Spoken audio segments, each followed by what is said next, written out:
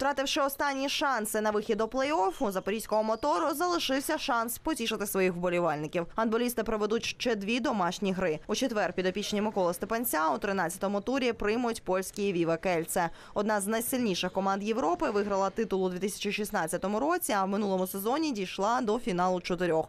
Отож, чи вдасться українським гандболістам грюкнути дверима? Дивіться у прямому ефірі на телеканалі «Спорт» о 18.30. Действительно, мы потеряли шансы пройти э, в следующий этап, но Лига чемпионов – это те, те соревнования, которые мечтает играть э, каждый гонболист, поэтому у нас осталось бороться только за себя и за свой клуб, поэтому я думаю, что мы выйдем завтра 100% мотивированные и будем бороться за каждый мяч.